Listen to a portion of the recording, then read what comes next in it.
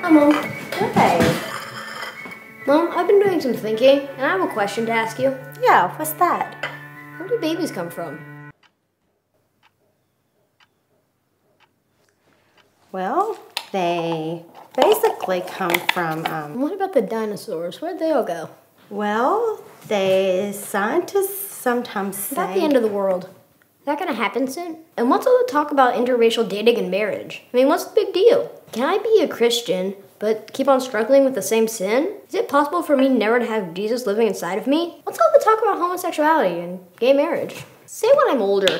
Let's say I want to do smoking and drink and watch R-rated movies. Can I still be a Christian?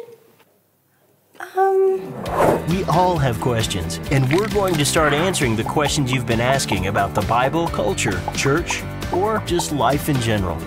Join us for You Asked For It, a new series beginning on October 20th, only at New Spring. Wait, Mom, what about the moon landing? Did that really happen? I heard Bigfoot's real. Is this true? Hey, and the meaning of life itself?